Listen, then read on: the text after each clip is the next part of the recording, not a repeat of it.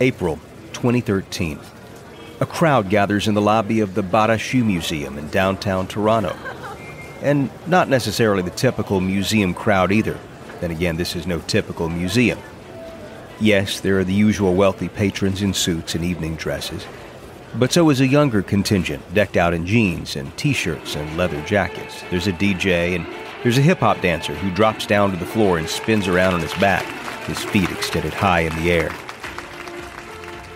Founded in 1995, the Bata is the brainchild of Sonja Bata, a Swiss born philanthropist whose family was a mainstay in the high fashion shoe industry for more than a century. Her collection is world class. Big name designers and celebrity footwear. Elvis Presley's checkered loafers are here. So are one of the first pairs of stiletto heels.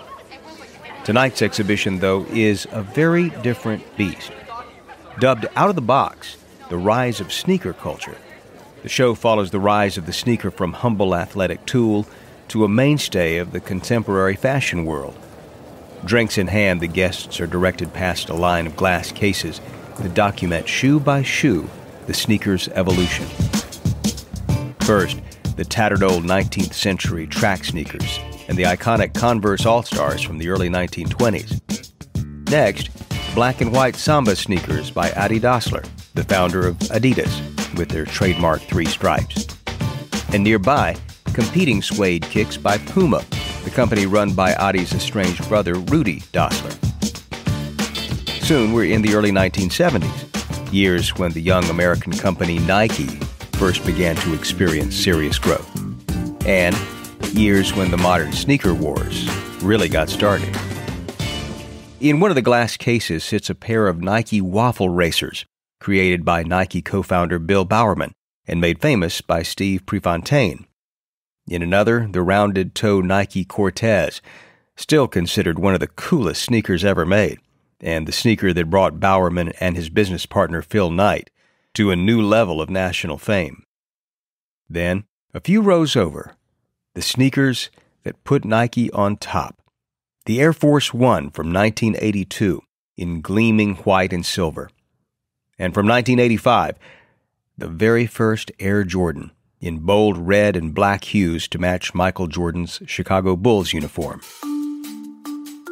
By placing the shoes in the kind of cases typically reserved for priceless sculptures, the designers and curators of Out of the Box are driving home a point. These shoes are beautiful. They are art, and they deserve to be treated that way. Out of the Box travels to Brooklyn, Oakland, and Atlanta, epicenters of American hip hop and street culture. The show attracts a lot of sneakerheads, including young people who weren't even born when some of these shoes hit the court for the first time. And they know everything about these shoes. At every stop, the media glare is intense. There are glowing write ups in fashion blogs, but also in the New York Times, National Public Radio sends a reporter to Brooklyn to cover the show. Camera crews line up outside the Oakland opening. The lines are long. Spectators come by the tens of thousands to wander through the collection and to take selfies in front of the most iconic sneakers ever created. Sneakers, one art critic writes, are obviously not just sneakers anymore. They're a chance for self expression and a designer's playground to see just how far you can take rubber, polyurethane, and nylon. If there were ever any question as to the importance of the sneaker to contemporary fashion, it is not a question any longer. But while these sneakers are being appreciated as fine art, the two companies who made most of them are still going at it in the arena. And now, they're at each other's throats. If you're like me, by the time you finish lunch, you're already thinking about dinner. I'd love to cook more, but my problem tends to be finding the time to put together a list of things to shop for, and then you got to go to the supermarket with all the madness there. Hopefully, you've got enough energy to actually cook when you get home. Does any of this sound familiar? Well, that brings me to Plated. This is designed for food lovers like you and me. Plated offers 20 chef designed recipes every single week and they deliver everything that you need to cook in just the right portions right to your door. You know, I don't know about your family, but sometimes it's tough to get the kids to eat wholesome. When my seven year old daughter smelled the beef bolognese getting cooked up in the kitchen, she actually wanted to help with the cooking so we could get to the food faster. And she had such a great time with her mom using the simple step by step instructions. And on the night of lamb gyro, my son, who's strictly a burger guy, called it the best dinner in weeks. Man, the fries alone, they tasted like they were from a gourmet restaurant. And that's the difference that quality ingredients make. The portion sizes were perfect. You can't beat the convenience of delivery or the ease of preparation. They walk you through everything. For the Brown family, Plated has turned out to be solid gold. Discover your ideal dinner experience. Go to plated.com slash BW to get 25% off your first four weeks for a limited time only. Terms apply. See plated.com slash BW for details. That's plated.com slash BW. From Wondery, this is Business Wars. I'm David Brown.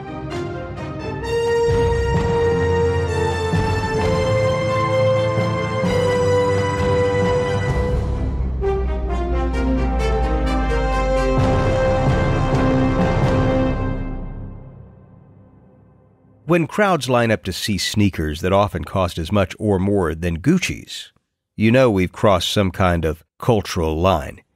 And to a remarkable extent, it's been the intense rivalry between the two companies we've been following that have gotten us here. After all, as the old business school saying goes, nothing drives innovation like competition. Which brings us to our final episode The Defectors. The rivalry between Nike and Adidas has been intense for decades, but always respectful. That started to change in the 2010s as Adidas began to catch up with Nike in the US. Remember Kanye West's public ranting against Nike at Fashion Week? Increasingly, the gloves are coming off. Phil Knight was a former athlete and he thought like one. You played for your team, you concentrated all your energy on dunking on your competitors, and he prized loyalty. You'll recall the raw rage that Knight directed at key executives like Rob Strasser, who left Nike for Adidas in the late 1980s, in what Knight later called an intolerable betrayal. So intolerable that Knight didn't show up to Strasser's funeral. So, in 2010, Nike decides to remind staffers of the importance of loyalty. Adidas is gaining on them, and they want their staffers to know they are being entrusted with vital trade secrets. The internal Nike campaign called Keep It Tight comprises a series of mandatory training modules, online videos, and black and white posters with the words Protect the brand, yourself, the business. Every employee participates. Not every employee gets the message, however. In 2014, three Nike designers begin covertly discussing plans to leave Knight's company. All three men have the status of gods in sneakerhead circles. The Croatian born Denis Dekovic joined Nike in 2015 and has recently become senior design director for soccer shoes. Mark Miner, the youngest of the group, heavily tattooed and perpetually dressed in a black v neck t shirt, specializes in cutting edge running shoes. And Mark Dolce has helped develop some of Nike's most iconic products from the Air Force One to Kyrie Irving's signature shoe. Dekovic, Dolce, and Miner are ambitious and they are smart. And they are feeling a little stifled by the increasingly big brotherish atmosphere at Nike HQ and Nike initiatives like Keep It Tight. They have an idea. They'll pool their talent and start their own design studio, which they begin referring to in emails as the satellite, and they have an idea of who might fund just such a project. If you've listened to recent episodes, you know that Adidas, in recent years, has made a concerted effort to claw back American market share. The company has opened a big new office in Portland and has tapped a hotshot former Nike designer named Brian Foresta to head up its basketball division. It's working. Nike still has a sizable lead, but Adidas is chipping away at it every month. Dekovic, Dolce, and Miner like what they're seeing from the team at Adidas' headquarters in Portland, and they believe if they're given the reins, they can help take the operation to the next level. And they can provide it, as Dekovic assures his friends in email exchanges later included in a lawsuit filed by Nike against the designers. We're not presenting ourselves as three designers, but as the best team in the world. What if they want one of us and not the others? I won't go to Adidas without you. And neither will Miner. Much of what follows remains hotly disputed. It's the subject of lawsuits and countersuits between the shoe giants. But we know that in March of 2014, Dolce and Dekovic receive an email from Brian Foresta of Adidas. Hey guys, hoping we might be able to discuss careers. More emails follow with Foresta, with Adidas Brass, with recruiters. Among themselves, the three designers stress that the Adidas studio will only be the first step for them. Dekovic is eager to be independent. Adidas's money will let us eventually be able to start our own business. Exactly. Of course, they don't say any of that to Adidas. And in August of 2014, Adidas offers the three of them jobs. Miner posts a photograph of Dolce, Dekovic, and himself to Instagram. The caption reads, Grateful for the past, excited for the future. Three brothers, three dreamers, three stripes. To Nike and its founder, Phil Knight, the designers have committed the ultimate sin. They've turned on their team. The company asks a forensic science firm to comb through the laptops and smartphones used by the three designers at Nike offices. The firm produces evidence that it says shows the men removed trade secrets from Nike headquarters. The designers flat out deny it. Dekovic will later say he's got no need for old design schemes. Things I knew about Nike's product development and design may already be stale and will certainly soon be ancient history. Besides, as a creative person, I thrive on innovation and freshness. If I thought Adidas wanted to hire me to implement Nike's ideas, I would never have accepted the job. In December, Nike files a $10 million lawsuit against Dekovic, Dolce, and Miner, alleging breach of contract, along with a host of other charges, including civil conspiracy. The designers file a countersuit, alleging a culture of intimidation at Nike. But no amount of legal wrangling is going to get them to go back to Nike, and by 2015, all parties have arrived at an out of court settlement. To this day, the terms are confidential. With a lawsuit behind them, the designers set up shop in an old warehouse in Brooklyn, a borough that has become synonymous with hipster and street culture cool. They fill the space floor to ceiling with inspiration, sketches, fabric squares, old Adidas advertisements from the company's European salad days. Dozens of additional designers are hired. The space gets a name, the farm, and a purpose. Disneyland for designers, as one executive puts it. It's a hotbed of creativity. It's a magnet for new talent. It's everything Nike once was, and a beacon for what Adidas can become.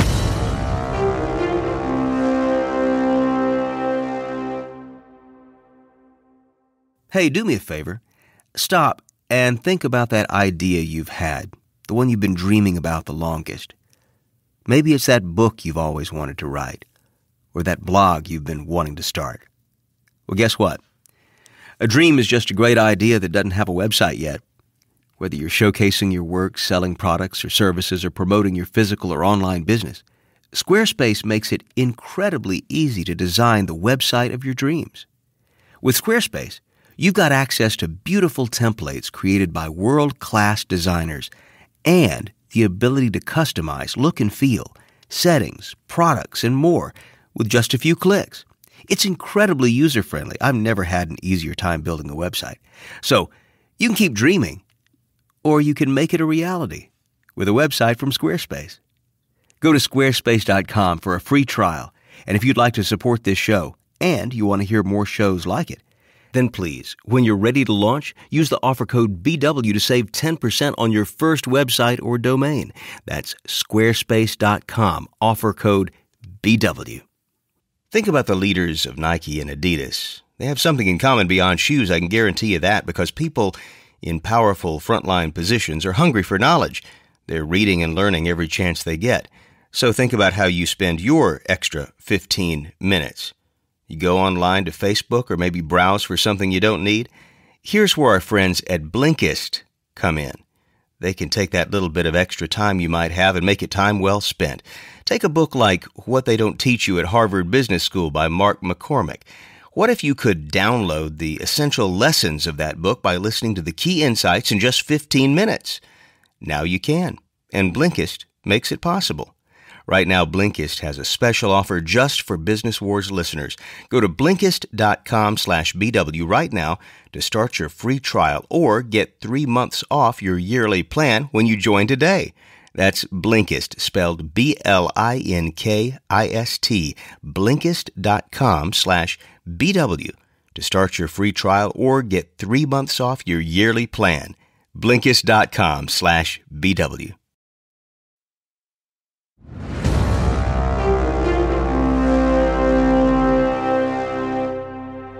New Year's Eve, 2015. Kanye West, the biggest rapper in the world, has just dropped a new single, as he often does on the last day of the year. In 2014, it was just one single, an ode to his infant daughter. This year, it's Facts, an ode to his sneakers. More specifically, it's an ode to his sneaker line for Adidas called Yeezy. Kanye debuted it just a few months earlier after leaving Nike for the three stripes. The Yeezys have been tremendously successful. Stores can't keep them in stock, and the media hype around the shoes is as big as anything that ever greeted the launch of a Nike shoe. And now, in fact, Kanye is taking a victory lap. He's rubbing it in. Yeezy, Yeezy, Yeezy, they line up for days. Nike out here bad, they can't get shit away. Then comes the infectious hook. Just jumped over Jumpman. Just jumped over Jumpman. Just jumped over Jumpman. He's talking about Michael Jordan. Is there some hyperbole in there? Of course there is. Nike has hardly resorted to giving sneakers away. Between the main Nike brand and the Jordan brand, it still owns about 46% of the sneaker market in the US. But Adidas is making all the right moves, and the Yeezys are only part of it. There's the farm, the design shop out in Brooklyn.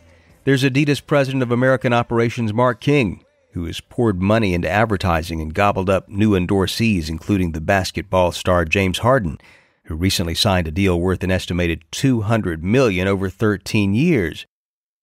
There are the forays into pop culture partnerships, polka dot Adidas sneakers and lime green track jackets from the singer and producer Pharrell, the goat leather kicks by acclaimed goth designer Rick Owens, and there's the freedom granted to designer Brian Foresta the guy who helped land the three Nike defectors.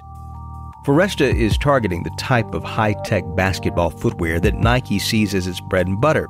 Shoes like the sleek Crazy Light Boost, a sneaker that debuts at NBA All Star Weekend in front of a TV audience of millions. Foresta tells GQ the future belongs to Adidas. I have all the respect in the world for a competitor like Nike. They don't intimidate us in any manner because they're heavy, they're big, they're oversaturated in the market, and I think people are looking for a change. Soon, the numbers might prove them right. In 2016, for the first time in as long as pretty much anyone can remember, the most popular sneaker in the United States is not a Nike shoe. It's the Superstar, the classic sneaker by Adidas.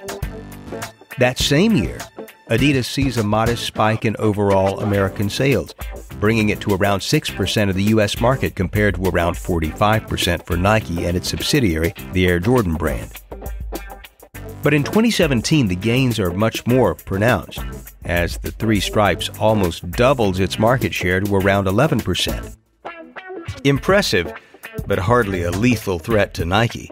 The swoosh still has a healthy market lead and plenty of tricks up its sleeve. It's coming out with cutting edge shoes too and is expanding from the baseball courts to fashion runways. What is really amazing is how far both Nike and Adidas have gone in this seemingly endless foot race. In being fierce and fearless competitors for nearly half a century, they have put so much distance between where they are now and their own humble origins. They're both making better shoes, and they have made each other better companies, too. Today, roughly half a century after the founding of Blue Ribbon Sports, the predecessor to Nike, and nearly a century since the Dassler brothers founded their company, the sneaker wars are entering a new era. Not that all the old generals have left the battlefield. In November of 2017, 16 of the best college basketball teams in the country converge on Portland for the Phil Knight Invitational, a tournament convened to celebrate the Nike founder's 80th birthday. With Knight in the audience, the teams fight their way through two eight team brackets. It's top notch basketball, fast and furious. And it's a fitting homage to Knight who about a year earlier had made good on his promise to step down from Nike's board, handing over the title of chairman to Nike CEO Mark Parker. This tournament is a kind of farewell as well as a birthday celebration. He gets a cake with his face painted on it with frosting. In one of the final games, a championship face-off between Michigan State and UNC, Knight makes an appearance courtside. We have a very special guest joining, Bill Knight, joining us here at courtside. He, of course, is the co-founder and chairman of Nike. Knight is the last survivor of the original feud with Adi Dassler's Adidas. He is dressed in a black shirt and black blazer. He pulls a pair of headphones over his head and settles in between a pair of ESPN announcers for a brief interview. He talks about the early days of Nike, about how he'd always been a runner though now he runs so slowly that he confesses it's a bit more like a walk. But he does that 12 miles a day while he listens to books. He reminisces about Michael Jordan, the former UNC player whose shoes made Nike millions and millions of dollars. About proposing his business to a doubtful father and a supportive mother. One of the sports commentators asks what advice he'd give the next generation of entrepreneurs. The kids today are smarter than ever before, and they're kind of afraid to fail. My advice is just don't be afraid to fail. And it's almost like he's talking to the young man he was in 1964 when he began this journey. As Knight knows, this is no sprint, this is a marathon. And even if he's no longer running in it, it's not over yet. Not by a long shot.